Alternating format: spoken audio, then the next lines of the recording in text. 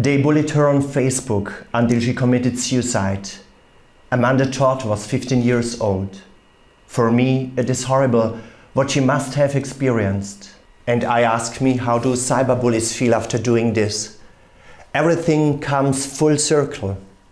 I think by bullying Amanda, they have not only destroyed her life, but they have started killing their own souls.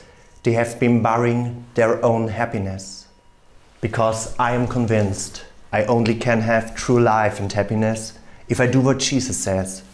The most important thing is to love God and to love your neighbors as yourself.